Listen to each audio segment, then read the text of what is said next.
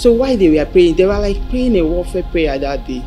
And the next thing I noticed beside me in my sitting room that the ground beside my sitting room puffed open. You will hear the word of God as if God was actually speaking to you one on one. You are hearing things you don't hear in the regular church. Sunday Sunday does not solve Christianity pie.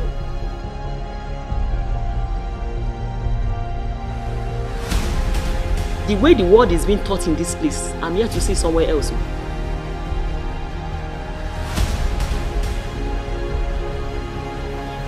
Generations to generations, I'll keep telling them that the God of Royal Olive Ministry has done me.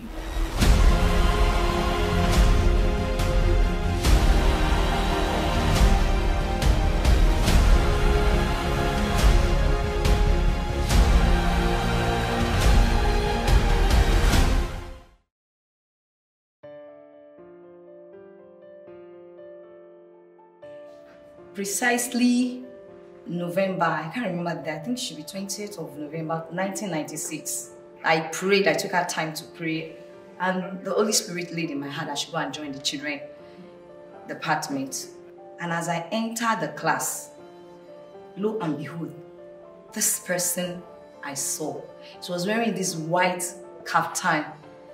And my heart, you know, when the Bible describes Eh, Mary and Elizabeth encounter, that the child in the womb lived. That was my experience with her that very Sunday. I knew Mommy Duru before I knew the ministry. And I remember I used to see her from far. I don't know what made me take notice of her. But I always bumped into her. She was in children's department and I was also in children's department. My heart just leaped that there is something about this woman. I just heard in my spirit, follow her. She had this courage about her.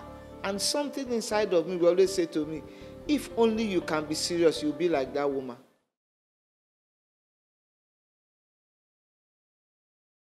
Because she has this love for teenagers, teenagers will come to her for counseling in church.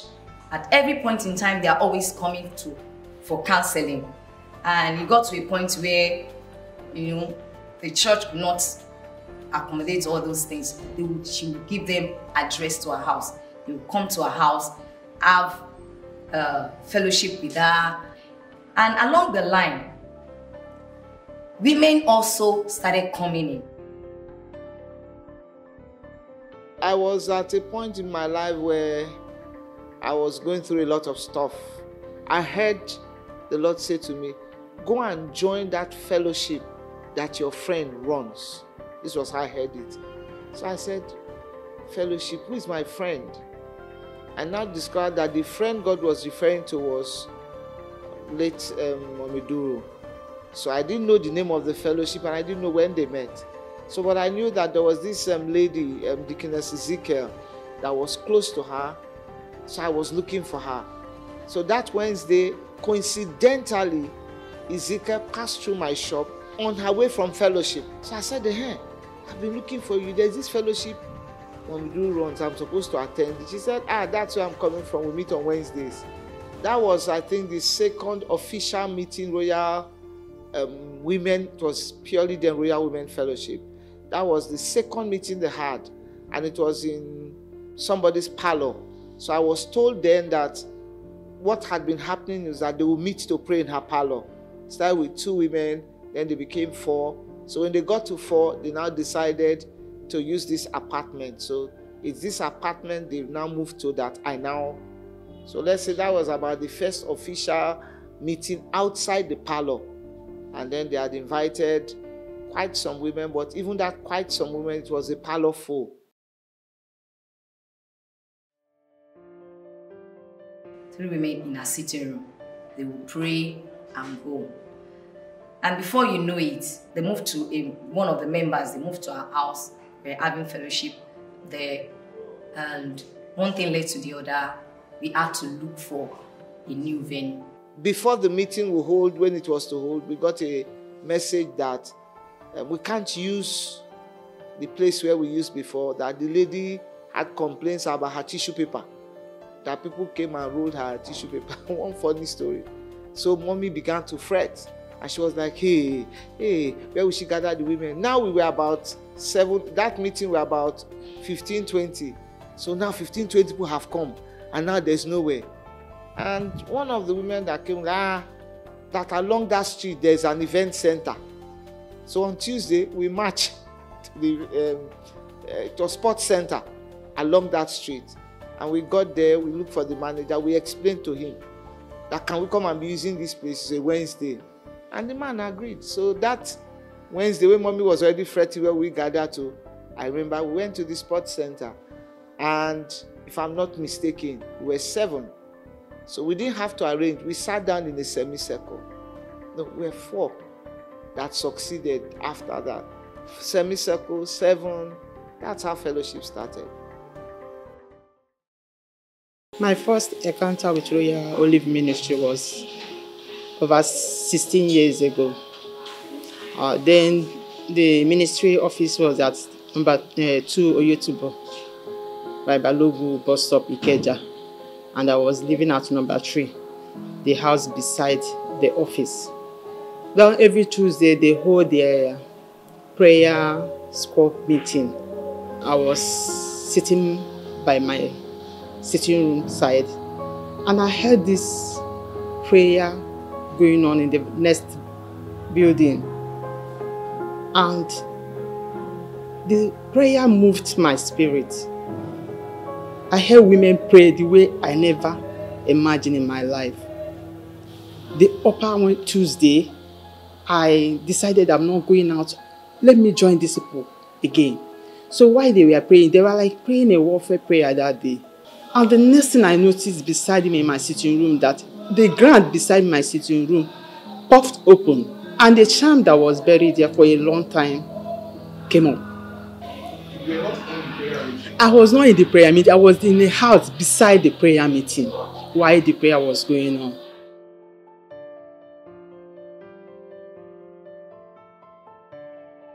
Fat for a while, we stayed there for a long time, and then this fellowship started increasing in numbers. Women coming from different places.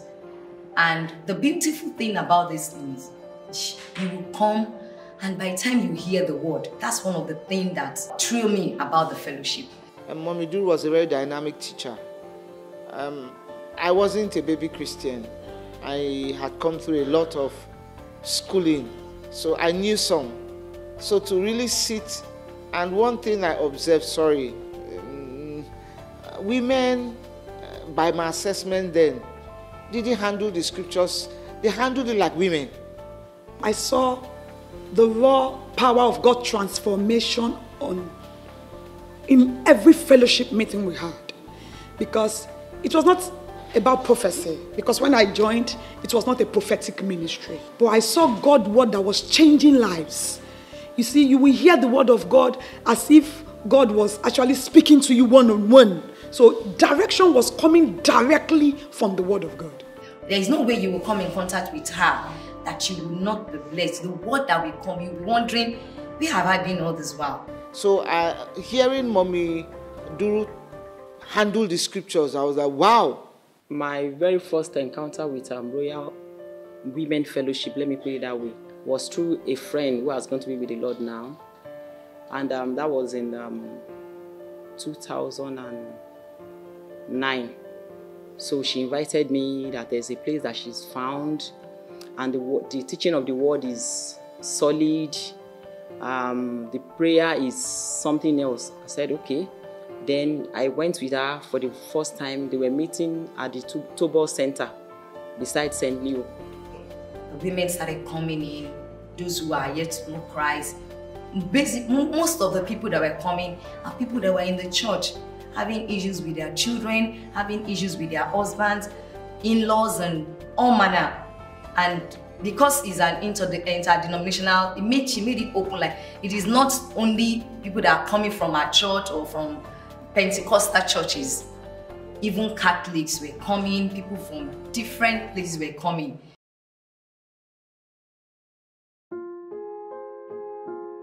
One thing though, we always had favor because our meetings were on Wednesdays, so all the places we had to use they gave us huge concessions because it was an off day. We always came with this logic that after all, you would have locked the place. Nobody is on Wednesday.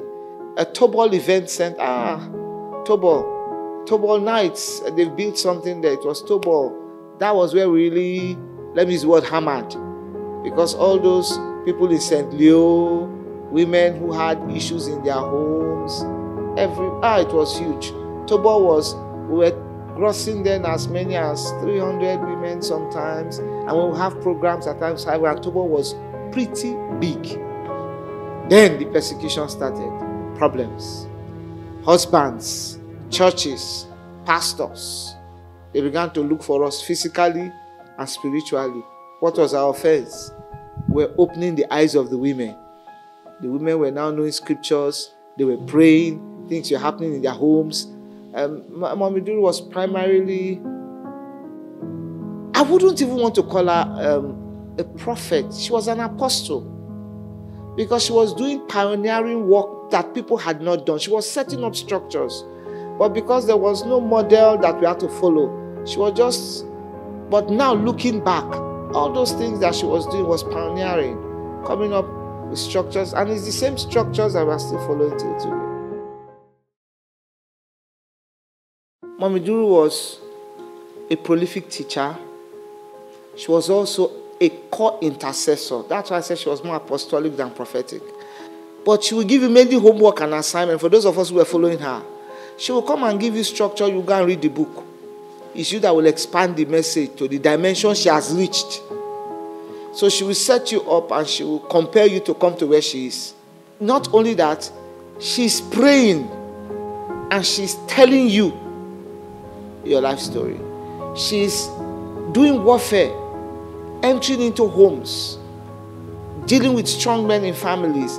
It wasn't too common then. Most of the people that we had, it is in, it, we were interdenominational, but many of them were coming from, as at that time, if there was anything about deliverance, the only ministries then that we knew talked about deliverance was Deeper Life and uh, maybe Mountain of Fire. So even our own church didn't talk deliverance. They believe that as you are teaching the word, deliverance is taking place. They have a problem with demons and they are giving two or three books to read. But you are coming to a place where you have a problem. Somebody is standing in the prophetic office and actually binding, loosening, casting out.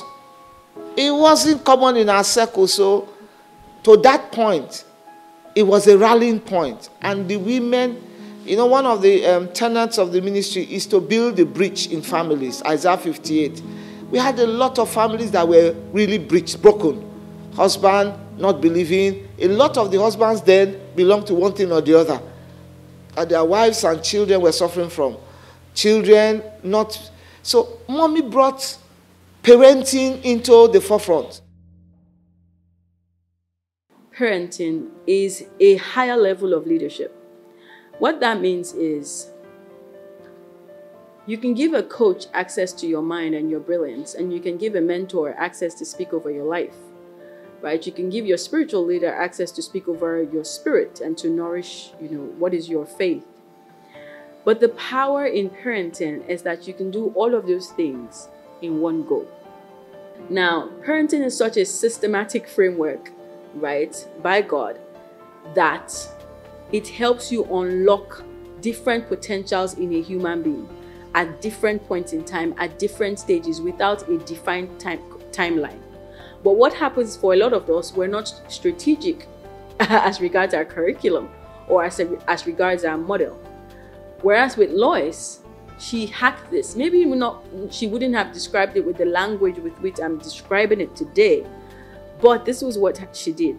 So my mother understood this is my strength. This is who Chimamaka is. And she would always say, um, you know, that she prayed to God and asked God about who I was and who my brother was and different people who each person, you know, was and stuff like that. And so she had a different curriculum for each person. It was very, very peculiar, very tailored. For example, someone else can sit in this chair and talk about my mother and talk about her in a different, like, use similar words, but the impact is different. Like, they, she shifted them from X to Y. For each person, they can connect their faith and different aspects of their lives to something they learned from her, to what she modeled, to what she lived. And I think that's really the what's the word now? That would really be the experience for a lot of people in Royal Women Fellowship. She started the Children's Bible Club, but her own version of it was centered around her. She was the person that would gather them. So it wasn't this big thing. It was the children within her neighborhood and the children of women of the fellowship. She would gather in one parlor, teach them, they'll have a fun day. I didn't used to do, go that, do that with her, but every other thing, I will be there because they'll pick an odd day, it may not be announced. So, children's Bible study started. At some point, one of her birthdays, she started what we now have as Royal um, Priest Bible Club. She called statute keepers. So, she had this group of men that would gather in a house, they would study the Bible. Now, the gathering was in a house. So, a lot of what they did or didn't do, I was not privy to it. It was the men maybe about 8 to 10 or thereabout. But one thing is, the key then was studying the Word of God. Now, Mommy was a refined woman that knew all the things they had to. She had etiquette, she had manners. She was trained like royalty, teaching women how to parent their children, discovering purpose. She was literally a pioneer. So you are hearing things you don't hear in the regular church. And not only that, it is backed up with manifestation of power. So she's preaching, she's praying, signs are happening all around this one woman. And she was indomitable. She's ready to follow. What did you say your husband did? Let's go to your house.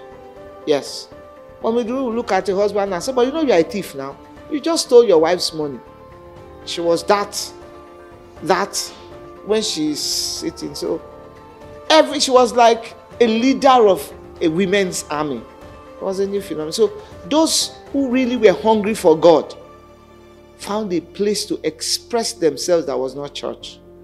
So you didn't have to invite them. They were hungry, they were ready, they were coming, and they were not disappointed. And this is how I like to think of it. The same God who is lion is also lamb. He's both a consuming fire and he speaks in a gentle, still voice. He's both the King of kings, Yahweh Sabaoth, and he's your compassionate, tender lover. And that's exactly the same picture with Lois, right? I find that my mother is not strong in herself, right? The Bible talks in Proverbs 31 that strength and dignity are her clothing. And I think that's Proverbs 31 25, the A part of it, if I'm right. And I think I am. And that's exactly Lois. There is a lot of strength, but that strength is not of her own self. So that strength is gleaned and drawn from the depth of her intimacy with Christ. But the real Lois, the real flesh, is a baby girl. She's such a baby girl. Like it's my mother who would say, she would shake you and say, ah, why are your palms hard? You should moisturize, you know. And and then, I want you eat.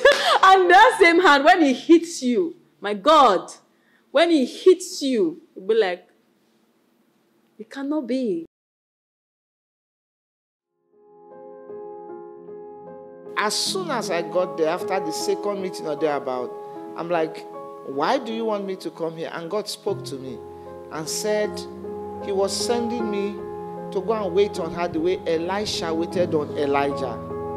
Then he also talked about Moses and Aaron. And I'm like, okay, so I'm not just going there, I'm just going there to go and serve. How many were we then? So I had that understanding and I went there with all this. So she knew who I was and I was available. So I was the driver of the ministry, I was her PA, I was everything. I'll go pick her up from her house, take her to fellowship, drop her back home, and I'll go back. And after a while, I remember not too long, we're now beginning to stabilize a bit, meaning we're now passing the seven mark, we're now moving towards 20, we're beginning to spread. And one day I took her um, home and she looked at me he said, Could you give me some space? You're choking me, you know. She said that to me direct. So I said, Ah, in my mind, I was already getting tired. Having to go and pick her up, drop her. And she wasn't friendly like that to me. So, so when I heard that, I'm like, ah, thank you, Jesus.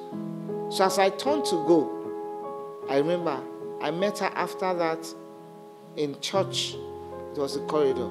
So because she had told me that, I said, God, should you heard? She said, I'm choking her, so I'm free. And he said to me, Did she call you? I sent you. So I said, God, if it is indeed you that sent me, speak to her. I'm available. She doesn't want. And then, not long after that, I remember she used you people then to summon me. Not you, you were not there then, your two sisters, to summon me. And I now walked with this reluctance, like you already said, I should give you space. And by the time I got close to her, she was like, Go and read. She gave me the scripture about Elijah and Elisha. I said, I know what it says. She said, talked about Moses. I said, I know what it says. And she looked at me. I said, that is what, and I was very raw. That was one thing. Now, Mommy Duru was a refined woman that knew all the things they had to. She had etiquette, she had manners. She was trained like royalty. I was very intelligent, but a very raw Warri girl. So I said things the way I, I saw it. But Mommy Duru, Mommy Duru had this way of being very, very cultured. So I was the exact opposite of her. So I just said it. I said, eh, Hey, Chebi, that's what I've been trying to tell you now. That God said I should come and do Elisha for you. You say I shouldn't come. And the way I said this, she just looked at me, shook her head like, we never had that discussion again. But from then on, it was just like it was assumed. So I was around her, observing, asking questions. I was just everything around her then when the ministry was coming up. I was, it was my car that was the ministry car. Then the school was being set up. So gradually it began to grow. I remember um, when we did our first anniversary, then we're quite some, quite some then, about 70 or so. Whoa, we're almost now feeling that hall. And by the time, I think it was when we were doing year three, um, we invited his late now prophet um, Yemi. He came and had these big prophecies. I remember because people really prophesy into my life, but that man that day spoke to me and said, Ah, he said, He sees me that will grow and we'll be ministering to nations and different currencies of the world will be coming in and all of that. Where I was, I'm like, detail. When I joined, I used to be a running member. That means run away member. After the service, I would just find a way to escape because I don't want to be inside because I saw it as women ministry and um, because of what we've been hearing about women gathering together. So I decided to just stay aside, come pick the word that concerns me. It was the word that was really drawing me closer to the ministry.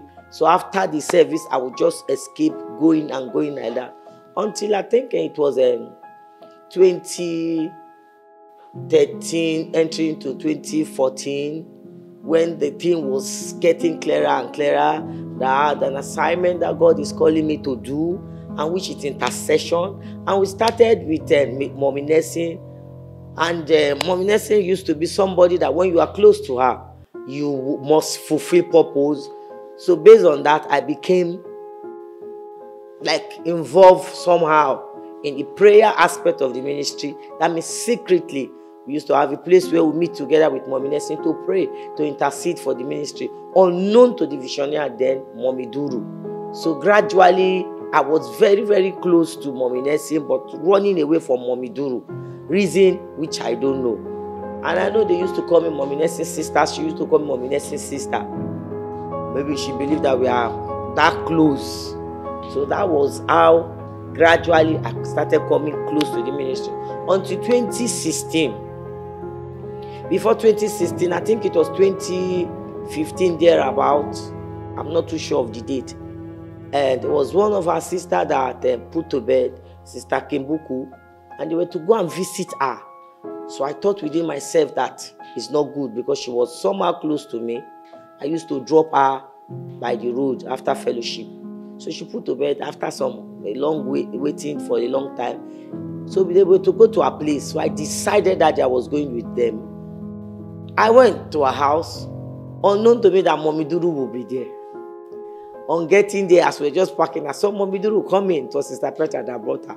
I was like, just to looking for a way to run. So while I, where I was sitting, she came to meet me there and she sat beside me. And she spoke her dialect Igbo language as if, and cash you today. And I don't know, she now told me that, what did I do to you? Why are you running away? Obviously, to be true, to be sincere, I cannot even place why I'm running away from this woman. And she now said, book an appointment, I'm coming to your house. That was where the whole wahala started. I call it wahala because I knew there was a call of God upon my life, which I was trying to put aside and to face the business aspect of my life. And you know, of course, the business aspect was really paying me, giving money. So I decided to follow that aspect. So eventually she came to my place, and the day she came, being a prophet, she stepped her feet in my home and she told me some things. And that was how the whole thing started. I was asked to join the prayer squad, but I was still running away until 20, I think 2015, then about or so, I joined. I, it was later I later found out that it was as a result of this prophetic call of God upon my life, and everything around me was making sure that I am not close to her. Several times she sees me, she invite me to her house. Some she will beat me. You don't know who you are. If you know who you are, you occupy your place.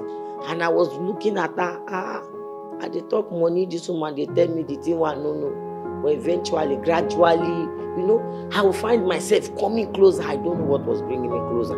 I remember one day she brought me to her house. She just told me, look, this is where I used to, this is where I used to pray.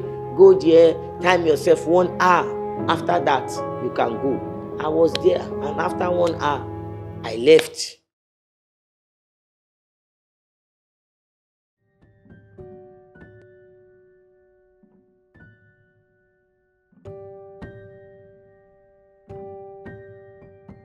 the first thing that happened that um, shook us, you see, we're raising this army and we believed we're invincible, we're untouchable. Mommy had raised us to believe when you are standing, nothing can happen to anybody in your home. Your husband is safe, and all of that. And from out of the blues, right in front of us, her husband gets killed. So it was a major blow, shaking. Now, but the truth of the matter is that we were, we, the followers then, and I was among the leading ones, we were very um, immature. We were not in the dark, but we didn't figure it was us.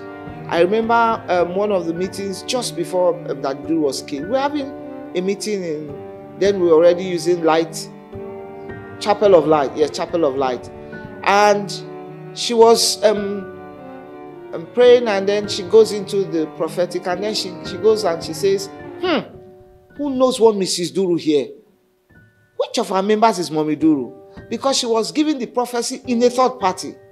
He said, Ah, conspiracy to kill the husband. He said, Tell her there is a conspiracy to kill her husband. Hell, people should pray for her. I took the prophecy and we closed, and I spent, ah, ah which of Mommy Duru's relative comes to the fellowship? that we don't know so that we can tell the woman to stand up. Now, this was not long after, and then Daddy Duru dies. And then everything that was going down, I remember when Daddy Duru died, it was pandemonium. A lot of those that had come, and then we were quite, I mean, on a regular fellowship, they were doing over 200 plus, not programs. So you are leading 200 women that believe that you are invincible. The ministry is invincible. And right in front of us, that scripture strike the shepherd and the sheep. So the minute that happened, first there was confusion. And I remember the leading women came and said, Ah, fellowship must stop. Ah, it's not chicken that died, though. Fellowship must stop. And I was the only one I said, No, why? I said, Fellowship will not stop. I said, the fellowship is not about Daddy Duru. I said, a lot of these people now have questions they'll be asking. If we shut down fellowship, dogs and warmongers will answer their questions. I said, it will be too late for us to gather them back. I said, so we need a platform where when they are confused, they will come and they can still get their questions answered scripturally. That whether or not this has happened, God is still in control. So I had to, it was like a one, Duru was not in any condition to say anything. She was just in a state of shock. But I remember, and that's why I tie it up, one of the days because I had to stay far to hold the women together. I remember one of the days I went to the house and the usual cluster people were around her. And she looked at me, she said, Did God not tell us? So I looked at the other women and I'm like, When did God tell us? She said, Uh uh. Did God not tell us that Mrs. Duru's husband was going to be killed? It was there in that place. I said, Who? Who? You mean that prophecy was for? Is then it now got to that she's also Mrs. Duru? Why did it not cross her mind? So God spoke, we didn't hear. Ah, it was a long battle. She had to be indoors to mourn her husband. She was very close to her husband. Um, in fact, nothing happens without Daddy Duru. They were that tight. So for him to just go like that, it was an uphill task. Um, I had to now automatically, leadership was just trust upon me. And I had to, but the type of leadership that came upon me then was this idea of having to harness the women, hold them together. Now, I am not a very emotional person. So I think the advantage I had, I was one of the few people was not crying. I was sorrowing, but I wasn't sorrowing crying. So my eyes were shining. So while others were crying and generally trying to comfort her, I was with a clear head and trying to make things work. Fellowship must hold. I'll go back to her. Um, what is it that we're supposed to teach? I remember I didn't ask her the first ones. I knew the messages then had to be how to get the women to understand that living or dead, God must be glorified. Now we did all of that. So the next battle, after Daddy Duru was buried, uh, mommy had to come out. Now, uh, ministry is wonderful. I, I, I got to learn a lot about people, especially women. Now, even in that moment of her pain, I know there was a lady that came, she was sitting down, and she said, Hey, mommy, I came to you for counseling, you know, and she looks at her like daddy was still in the morgue. He said, You know that you are mommy Duru now. Daddy has died, my own is still alive, I need help. And she goes on. So she talks, mommy answers, and then when she leaves, mommy turns to us. That do these people know that I'm a human being? And I said to her, they don't know the human being about you. What they know is their leader.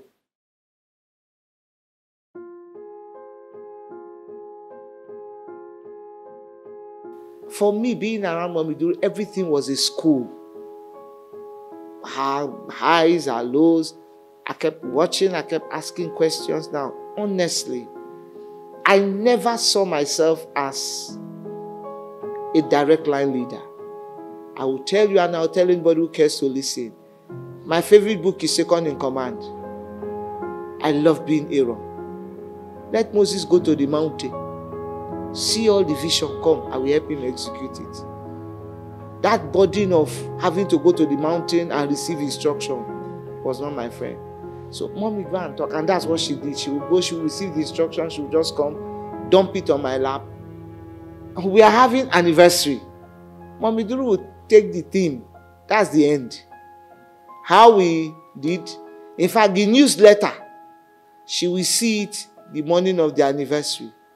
And you will know whether you succeeded or failed by the eye she will give to you. If she looks at it and you don't get that eye, you have passed.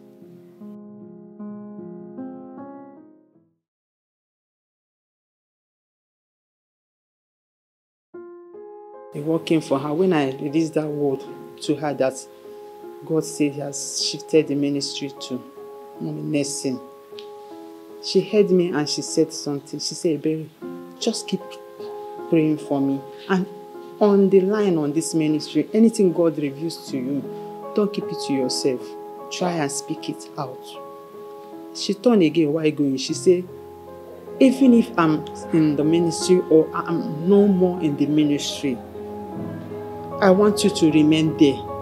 At this time now, a lot was being put in my hands, but I didn't say it that way because I love the idea of making things happen but not taking responsibility of leadership. And in the week, she can wake up one day and tell you she's not doing anything. She's not going to minister on a Wednesday. She's not doing anything. She just wants to stay in her father's presence. But towards the end, she will go for like a month and she will come to fellowship maybe just once. And then it started becoming better in Jesus' name, where she would actually be in the Ikeja and we are expecting her for fellowship at about 9 or 9.30. I'll get a message. You are going to teach. On Friday, she she called me, yes, in the morning. She asked, Sister, where are you?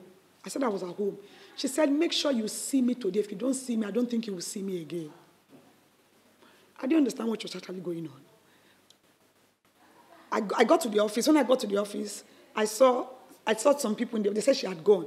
And she told them that when Esther comes, tell her she must look for me anywhere. First of all, I believe strongly, without a doubt, that my mother knew she wouldn't, she knew she was going to go. Exactly. So she knew in very clear terms. In fact, I believe she knew she wouldn't go past a certain point. But because of certain things she had said both to me and my brother, right? so she knew what she was doing when she started to, and God was also God was also um, preparing her, equipping her, kind of giving her hints. You know, you need to soft pedal here, you need to X Y Z here.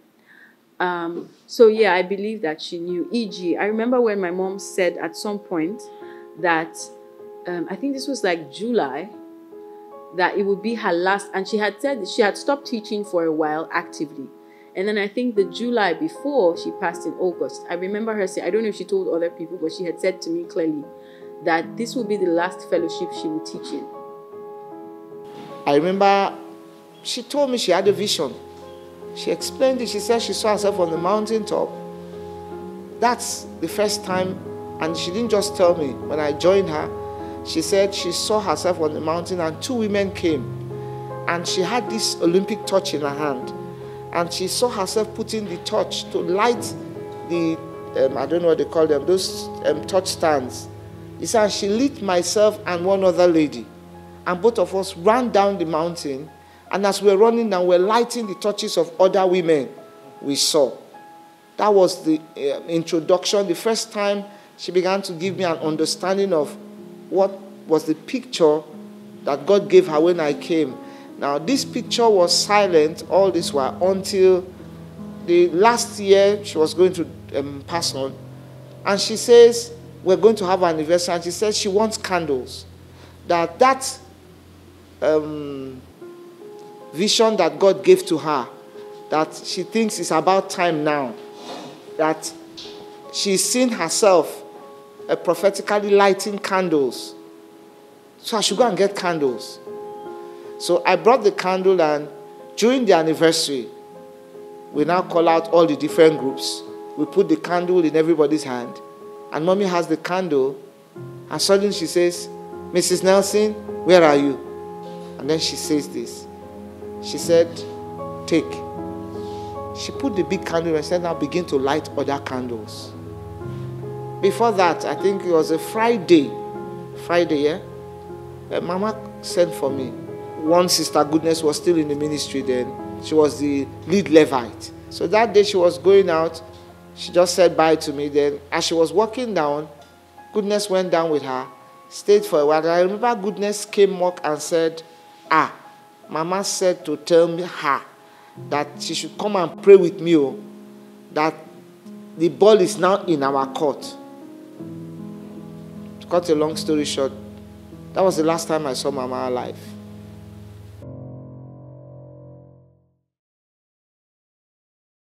So walked into her room and her head she was sitting she was supposed to be sitting up on her bed, but her head was hanging a bit funny It was limp, you know, to the side. And immediately I opened her door, the first thing I said was, God, no, you know. But I knew, and I went close to her. I tried to wake her up. In fact, I remember telling the way I told my brother was, "Mommy's not waking up." You know, that's the only way I had to express what I was trying to say. And I remember him saying, "What does that mean?" I honestly remember my mom coming into my room early hours of that morning and speaking to me. But um, yeah, but it was dark. I don't remember what time it was. I know it was early, maybe about 4 ish a.m right? And but then if you put everything together, it means that she was gone because by the time I found her at almost seven o'clock, she was cold.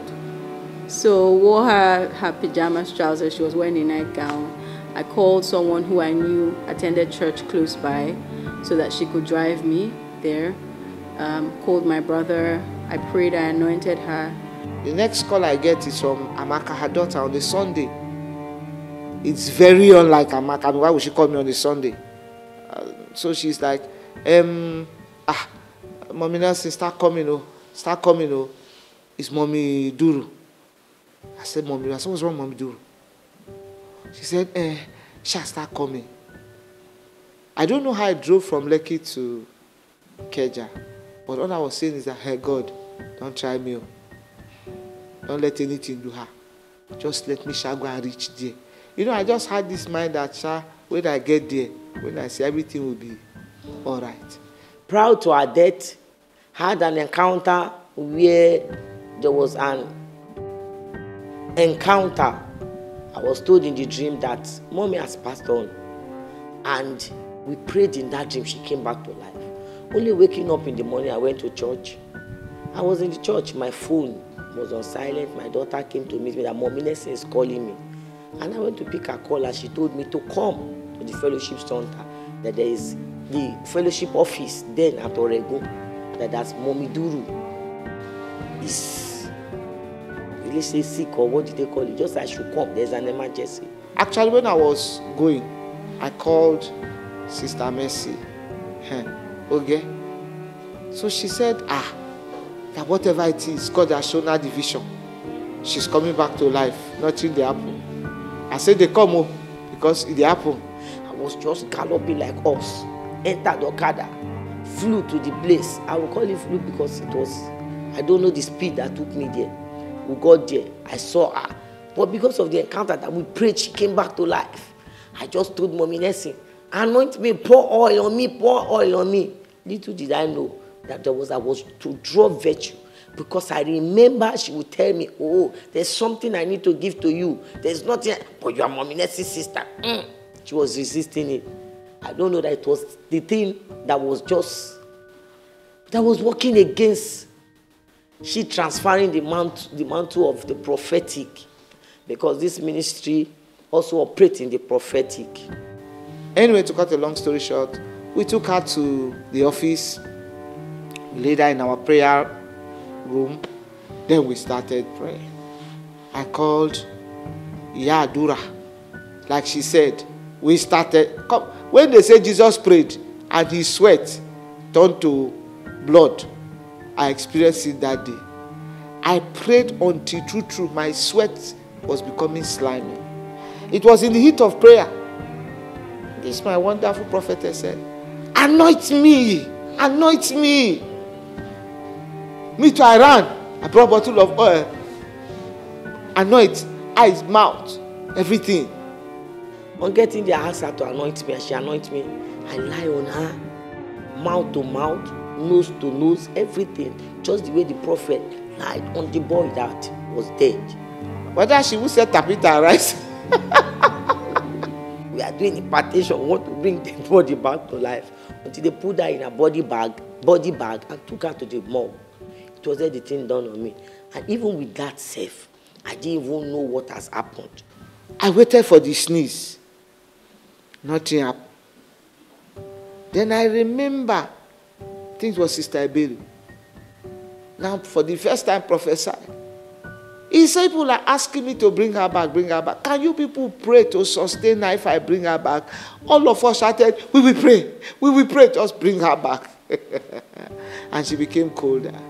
After about one hour, it just dawned on me that this woman is gone.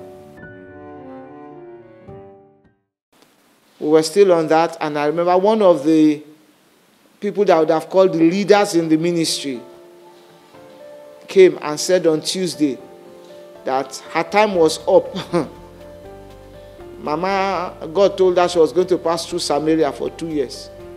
And Mama died on Saturday, Tuesday. Her two years expired, so she has finished. She's leaving Samaria.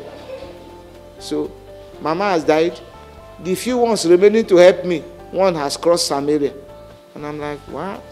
But there was something that I knew had to happen. Fellowship must stay hold. Actually, I wasn't convinced yet that I should continue in the ministry after Mommy Duru died. But Mommy Nelson sent me a message that I was going to join the prayer squad after Mommy Duru died. So in the place of prayer, God thundered his voice and said, the visionaire had died, but the vision had not died. Said, the visionaire had died, but the vision had not died. So we should all stand to carry the vision with him to the, to the place he was actually taking it. That was when I was already convinced that there was a reason why God anointed me. And that, that was, since then, I've been in the ministry till now. After the servant of God died, um, family members uh, started asking questions. The person that made you to stay, she's gone. That what are you still doing in the ministry? But I remembered back that before it happened, that God already showed it to me. And the Mommy Duru was away because she wanted to hear what God said at our last Tuesday meeting. She said, somebody had a word for me here and I want to hear it. Nobody stood. And she looked at my eyes and said, you have the word for me. I want to hear. So I told her, can we go outside? When, I went, when we outside, I told her that God has given the ministry, I've released the ministry to Mommy Nelson.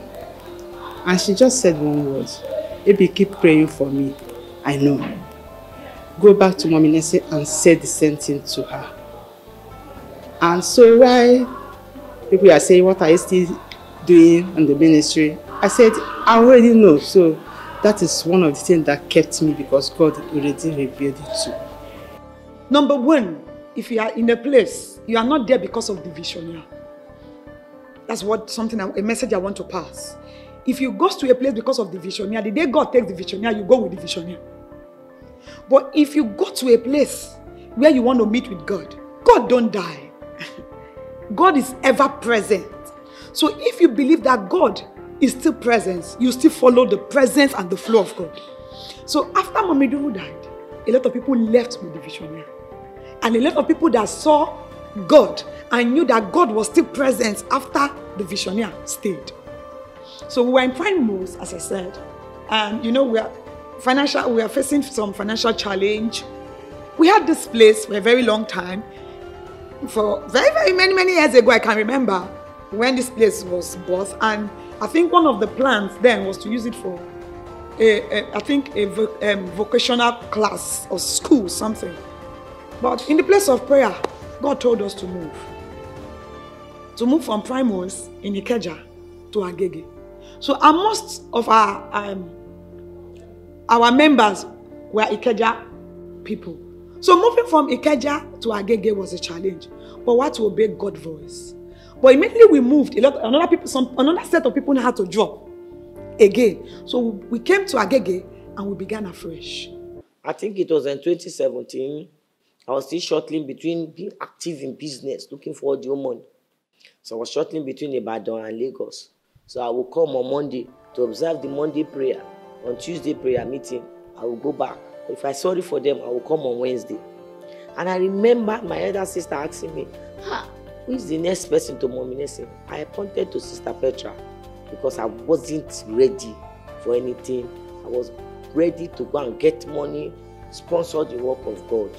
Until 2018, when the whole thing dawned on me, came for I started, I think from after the death of Mommy 2016, 2017, yes, 18, then the prophetic gift. And the day I knew that something has transpired, in my life from Mommy Duru was I walked into the fellowship center and there's a sister that we used to know.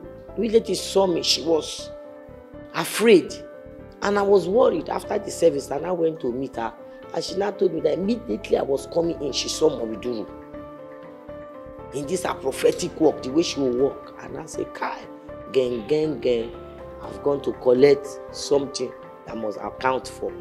But to cut the whole long story short, eventually it was in 2018. It now dawned on me that really you collected this mantle of the prophetic from Momiduru.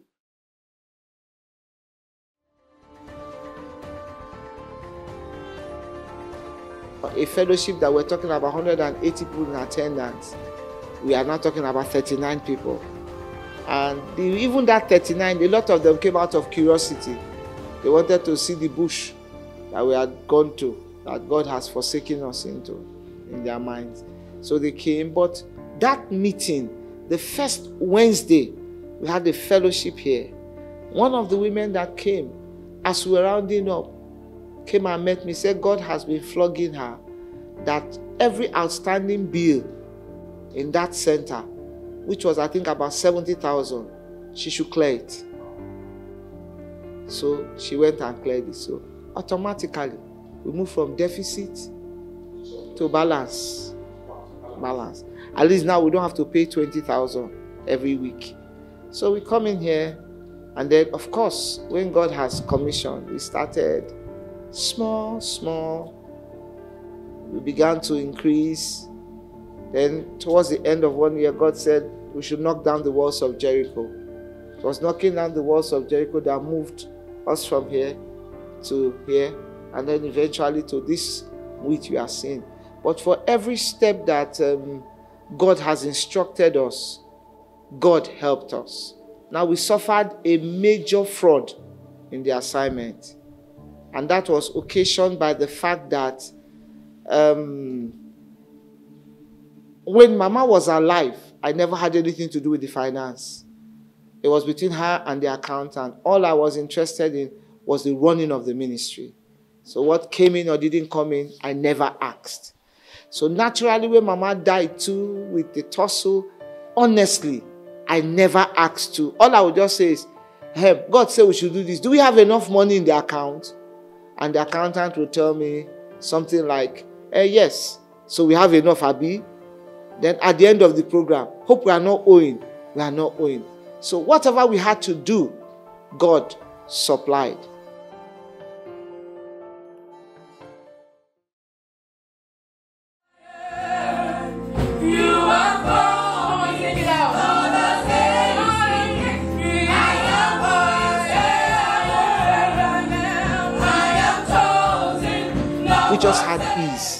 When we wanted to do these chairs, I remember when we announced it, uh, it was an enthronement um, seed. Each person bring one or two. Somebody then gave a million, and we bought almost all the chairs. Then, that's how the chairs came.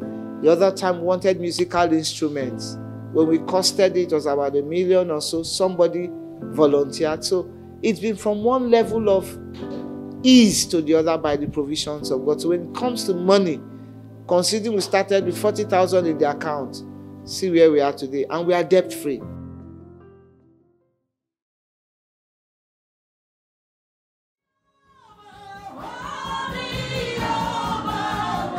Before I came to Royal Olive Ministry, I have a lot of issues in my life. I think I would rather use the word baggage. Um, I had a failed marriage. I lost identity. A lot of things went wrong with me. So I was in Lagos. I came in contact with my my elder brother's wife, which is my sister-in-law, and she kept talking about the fellowship that um, the, she goes to a fellowship. The power of God is always strong in the fellowship. And I called her one day. I said, "Come." I said, "Please, I want to meet the woman that is in charge of the fellowship. If she could help me out of my predicament." So she said she was going to fix a day for the meeting. And when I came that day, it was a Monday, I was asked to sit down somewhere around here. So said it was time for faith theater. So when I came, We were in the faith theater. The presence of God was so great. I started open my eyes one by one, checking what everything everybody was saying was on point. At a time, one of them stood up and hit me.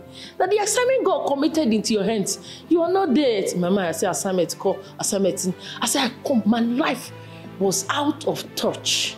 But gradually, the God of Royal Olive Ministry began with me. I remember that word. God kept telling me, I'm a work in progress. I'm a work in progress until He has brought me to where I am today. Yeah, it was through my wife anyway. Um, the whole thing started in two years ago when I had a um, very strong uh, financial crisis. I lost money. I invested in a failed uh, business, this uh, Chimol business. You can hear about that. So I invested a lot of millions that never came back. From there, frustration started, and I got into uh, borrowing money from a lot of uh, all these uh, apps, bank apps, and other. So I got devastated. At the time, I thought suicide, but just because I know deeply about the scripture, understanding that suicide is never the best option. I want not go moving from frying pan to fire, okay? But I thought suicide anyway. So at the time, I started losing it all. People started avoiding me. The church, we numerically we reduced drastically in number, and my family's in-laws, nobody was even coming very close to, you know, um, attend to me. And at the same time, they gave us a quick notice where we are. We were staying in the church. At the same time, quick notice in my house, double quick notice you know, someone who has family, family of six, my wife and four children. So when my wife told me about the ministry, Royal Olive ministry, I had no option than to come. Why? Because I saw a lot of changes in her character. So that propelled me, that moved me to say, okay, this place should be a good place. So let me come give a try. And that was what brought me here. When I came, the, I explained my ordeal. And this is the same ordeals that after explaining in certain places, people will just avoid me from that day on. But what surprised me was that the ministry didn't avoid me. They paid attention, they stood. Uh, most especially uh, Mommy Nelson. She stood in the gap. Financially, they stood for me. Spiritually, they stood. Know, and that's just how the whole uh, story started. And here I am today. All those things are now bygone. Before I joined, as in before I started, before moving to this place, or should I say before I joined the prayer team, I, I was born again, I told you, but I couldn't hear God.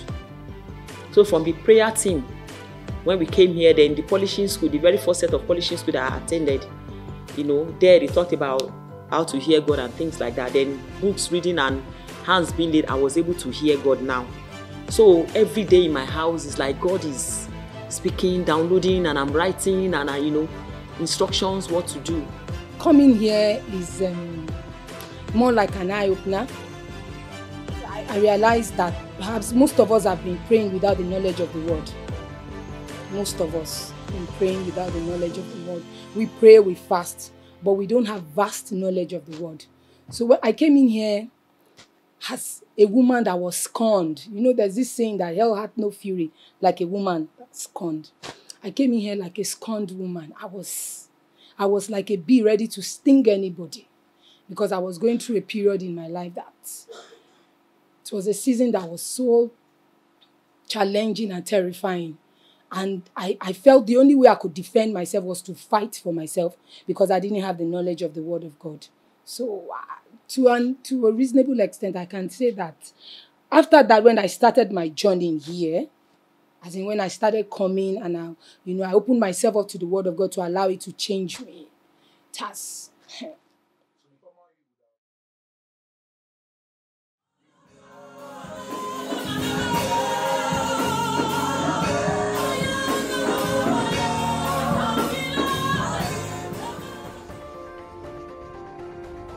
my last meeting uh, here on Wednesday, still on recovery for me. Sunday, Sunday does not solve Christianity part. I sort of realized that I'd been going to church all this while, but I didn't know God. I I believe I knew Him, but I didn't. I know the God of the Bible, the one of the stories, But when I started coming to the fellowship, you know, there's a way you are taught that when I get to oh, really, this same passage of the Bible I've read before, did it is this what is actually saying? So when now when I'm talking to people, I'm telling them I have a fellowship I go, and I have that covenant to God that except I'm at work, if I'm not at work, I will be on ground. And even for Bible study, it doesn't matter what is going on. So I always tell them the difference. You can go to church, but if you come to my fellowship, you will be fed with the word that you don't need to call your pastor at all times. Do not go and stay here, and I'm going to prosper you. We are saying this morning. Father in the name of Jesus. No matter what I hear from my church on Sunday, I still feel that something missing. But once I comfort uh, fellowship here, after hearing mommy nursing preach the word, I'm always filled of that. Yes, my inner mind is filled up with the word of God, and that word is what will transform me, and that's how I practice whatever I hear from her because the most important is not hearing the word of God that she preached, is by putting it into practice. During one of the service, God told our mommy in the house that he wants to hear my voice. Mommy never had, I'm, I'm not sure mommy knew, maybe I used to be in the choir, maybe I used to sing. And that was how I joined the Heaven's Still Choir. And gradually, God kept working on me to be a better person, to become who you have seen today, even though I am still a work in progress. The power of adoption and adopted belong to Jesus. The devil doesn't have a right over your destiny. And let me say something why this assignment is so exceptional. You don't just pray you are, we are taught to pray with the word in the will of God. It, it's rare. A lot of people just give you prayer point. No, here we are taught what is the scripture saying? What's God's intention about that situation you're going through? What is the word of God saying about it? And we are taught how to hold the word of God and wrestle over that challenge until it becomes a miracle. So when it comes to the word and to prayer, it's inevitable when it comes to Royal Olive Ministry.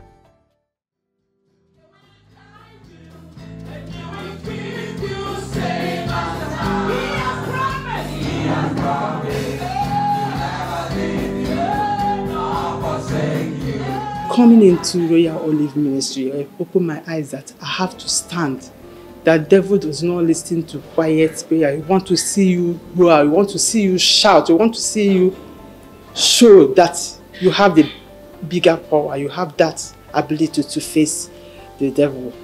Yes, Royal Olive Ministry have really raised women, raised men. Mommy Nelson was like an anchor that kept me in this place. You understand? When I remember the word that if you don't come for fellowship, I'm bringing the fellowship to your house. That would ginger me to start running down here. And apart from that, when I get to this place, I have this, this peace within me. Then the word is another thing. The way the word is being taught in this place, I'm here to see somewhere else. Oh. I've tried several. It's not measuring up to the way it is here. This, anybody that comes here will experience the presence and the power of God in another dimension they've never seen. You cannot come to royal women, royal women and men ministry and your life will not be transformed. Things are different now. The Adedamola before is not the Adedamola now. Just like the scriptures is finding fulfillment in my life, that the path of the just is like a shining light that keeps shining brighter and brighter and brighter. I'm an expression of God's mercy. Shall I tell you the truth? I was deep down in the pit. But God of this assignment brought me out. He didn't only bring me out to leave me to stray, He stripped me out of the cloth of shame and clothed me with the garment of honor. He gave me a voice and He established my feet to stand on the mountaintop. Generations to generations, I will keep telling them that the God of Royal Olive Ministry has done me well.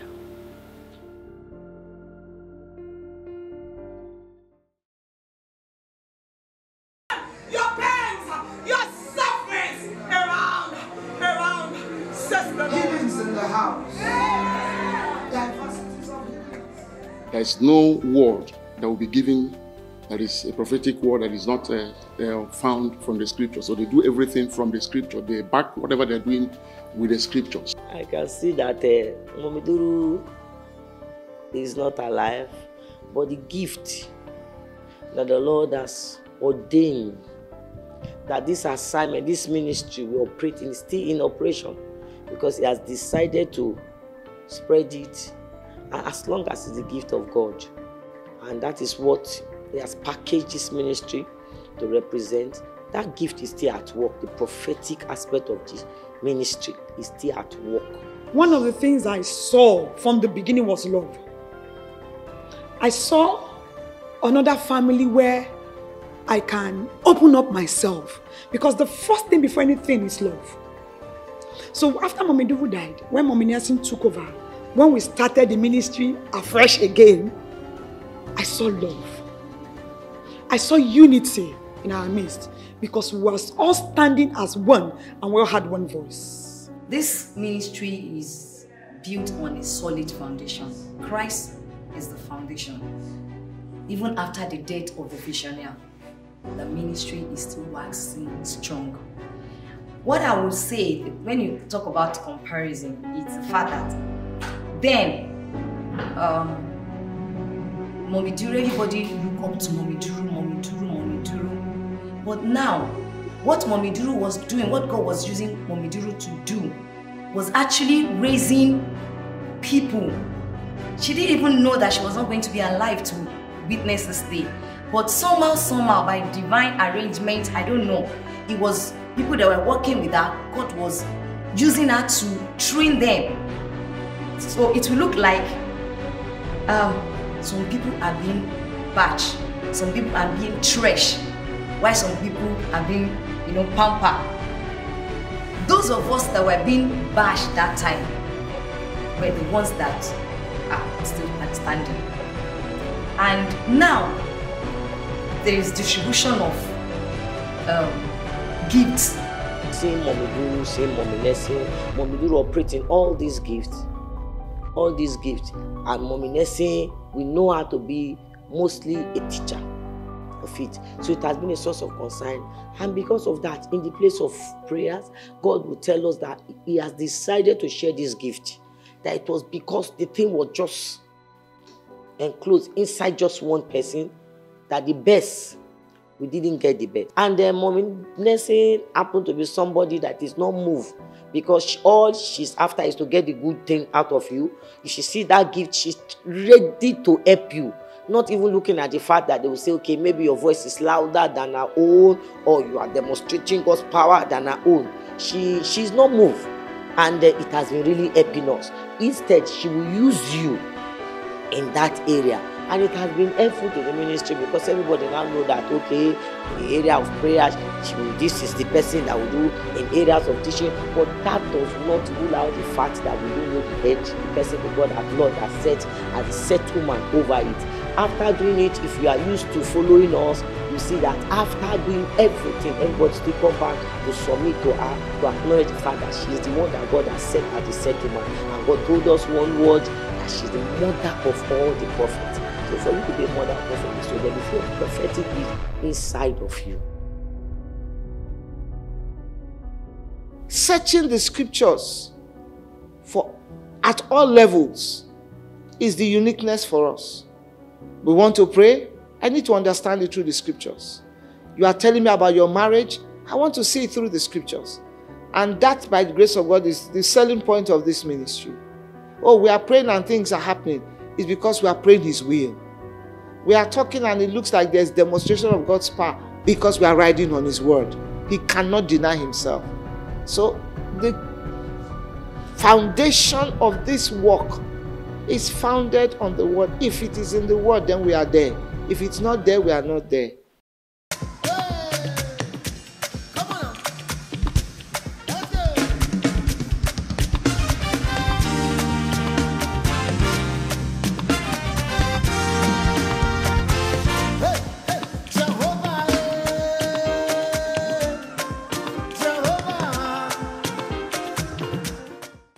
In the next 10 years, Seeing Royal Olive Ministry to be a household name, not only in Nigeria, but across the country.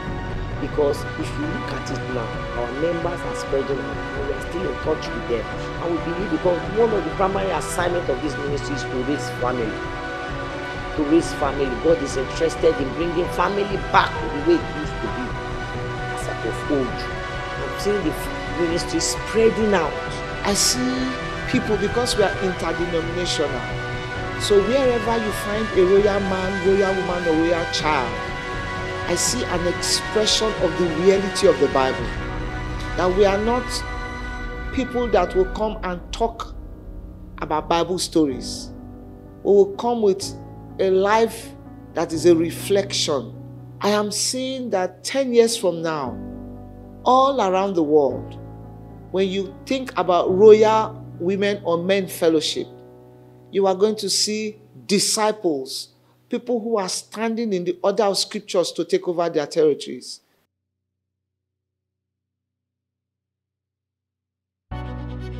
Happy 20th anniversary to Royal Olive Ministry. Royal Olive Ministry, happy 20th anniversary. Happy 20th anniversary to Royal Olive Ministry.